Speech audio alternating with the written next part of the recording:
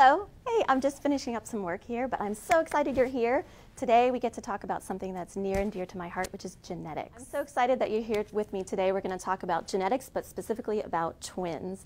And twins are really fascinating, and most people are fascinated and want to talk to parents of twins about their twins. So they approach them with sometimes very interesting questions, but sometimes ill informed questions. So my goal is to educate you so the next time you talk to a parent of twins, you can impress them with your knowledge.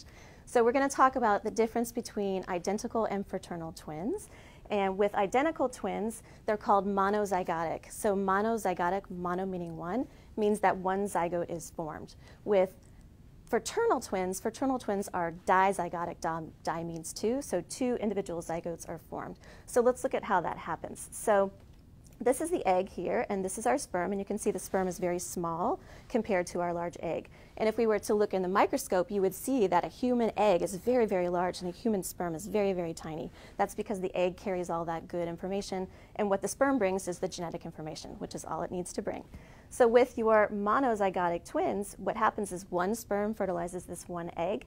Now in a normal situation, this would then go down into the uterus and then we would have gestation for about nine months and then a baby would be born. That's how most individuals are born one at a time.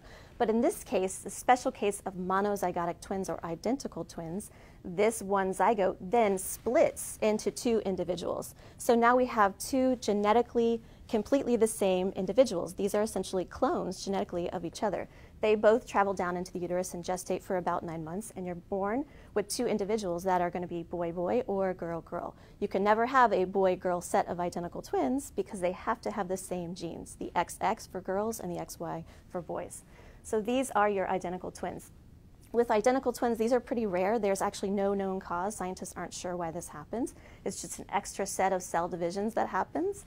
Um, and it's about one in every 250 births that this happens. So it's just a random chance that this will happen anytime there's a fertilization event. So no reason for that.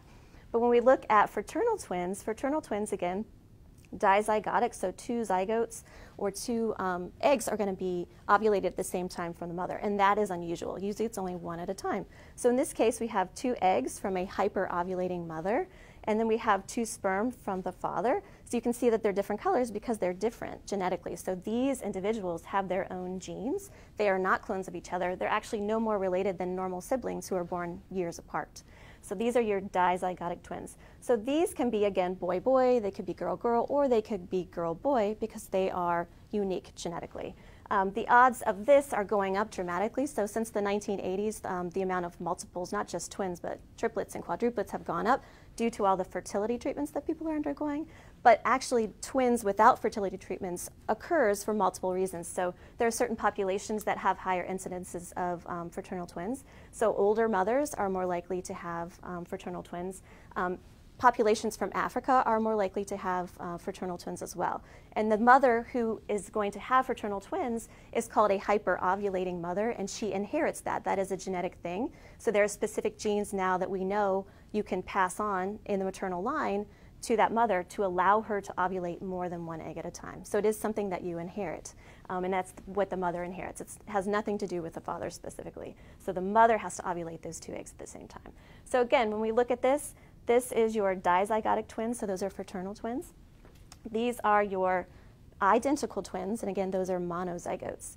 So the next time you see some twins with their parents out and about, you can come up to the parents and say, number one, you're doing an amazing job because you have a very hard situation with multiple kids at the same time. So you're amazing, right?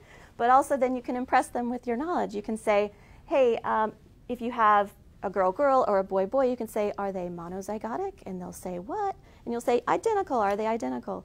And they'll say yes or no based on whether or not they know that. Now, the only way you can tell that is by doing a DNA test, which can easily be done. If you see twins that are boy girl, you can automatically know that they are dizygotic, and you can tell their parents, hey, your dizygotic twins are adorable, right? So, twins, they're amazing, fun to talk about with genetics, and definitely not scary.